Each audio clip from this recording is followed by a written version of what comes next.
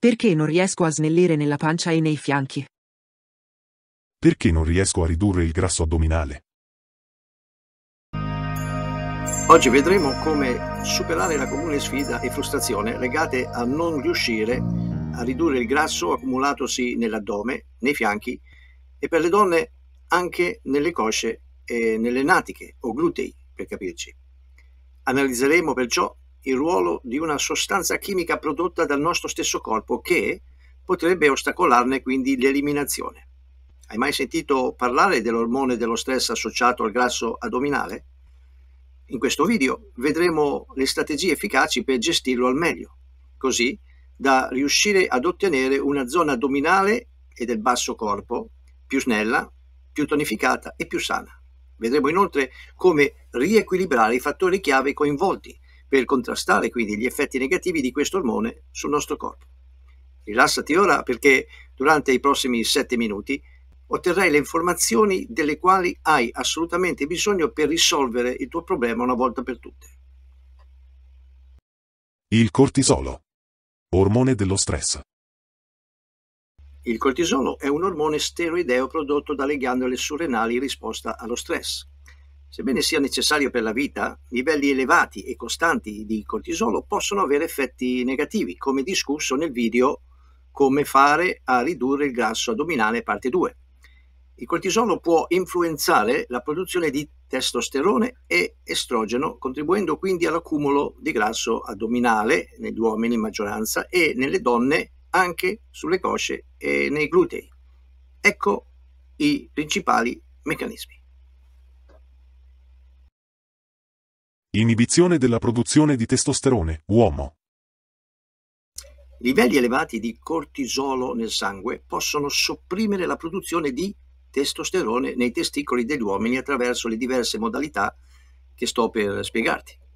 Poiché il testosterone aiuta a regolare il metabolismo e la distribuzione quindi del grasso corporeo, la sua riduzione può contribuire all'accumulo di grasso, compreso quello addominale.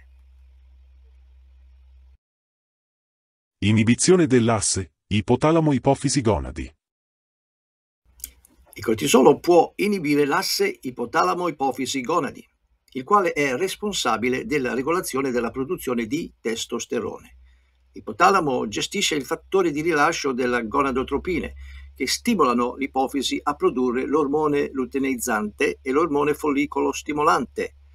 Questi ormoni stimolano i testicoli a produrre testosterone. Tuttavia, livelli elevati di cortisolo possono interferire su questo processo, riducendo quindi la produzione di gonadotropine e dell'ormone luteinizzante e di conseguenza la produzione di testosterone.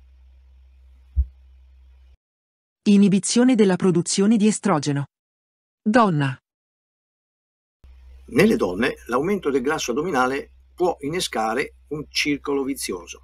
Ad esempio, un aumento del tessuto adiposo può portare a una maggiore produzione di estrogeni, influenzando negativamente l'equilibrio ormonale complessivo del corpo. Questo equilibrio o squilibrio ormonale a sua volta contribuisce all'accumulo di ulteriore grasso addominale, problemi emotivi come malumore, sbalzi d'umore e irrequietezza che possono portare a mangiare di più.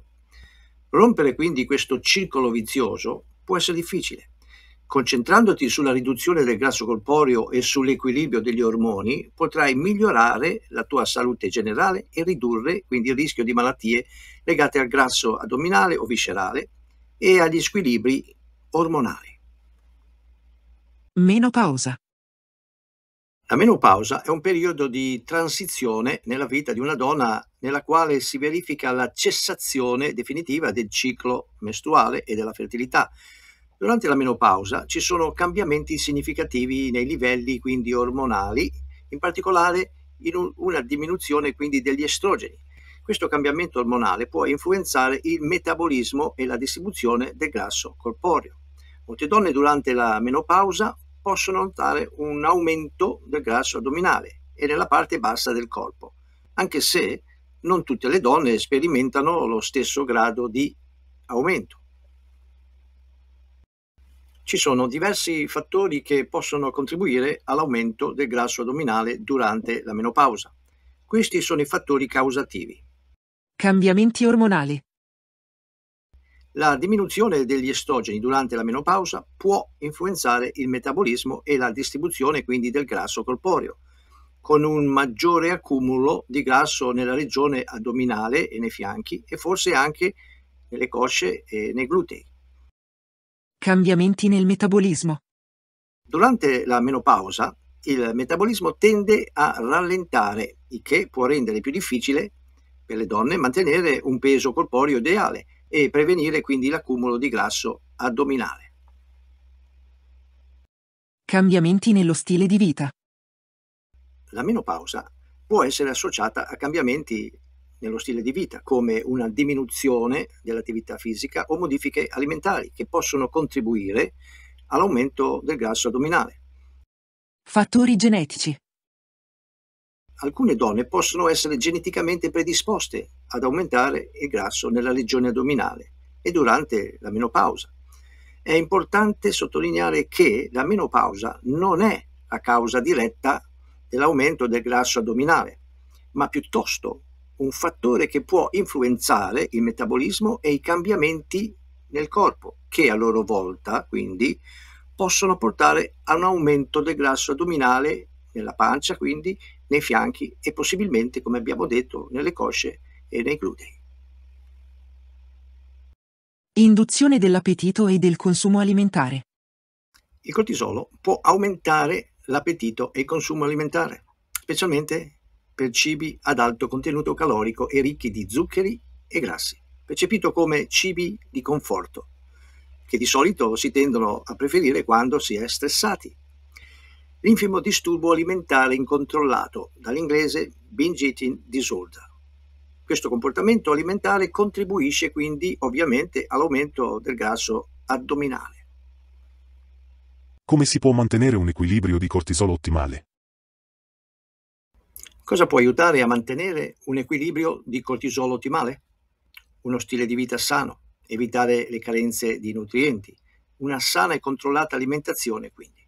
Limitare assolutamente l'alcol, smettere di fumare, assicurarsi di ottenere abbastanza sonno di qualità ogni notte, evitare la sedentarietà, muoversi di più facendo possibilmente dell'esercizio fisico, evitare gli steroidi anabolizzanti, prestare attenzione ad alcuni farmaci come i beta bloccanti e i diuretici e altri che possono influenzare non solo i livelli di testosterone ed estrogeni, ma anche di cortisolo nel corpo.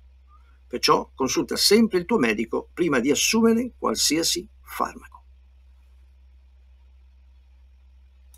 Controlla il video parte 1 che apparirà qui sopra fra pochi secondi, che ti spiegherà esattamente da dove cominciare. Se lo già visto, dai un'occhiata al video parte 2 qui sopra che apparirà fra pochi secondi, altrettanto cruciale, che spiega il coinvolgimento dell'ormone del testosterone e dell'estrogeno nel contribuire anch'essi ad accumulare quindi o ridurre il grasso addominale. Iscriviti, condividi l'informazione. Se i video ti saranno piaciuti, metti un pollice in su e se ti va, lascia un commento, lo apprezzerò senz'altro e farò del mio meglio per risponderti il prima possibile.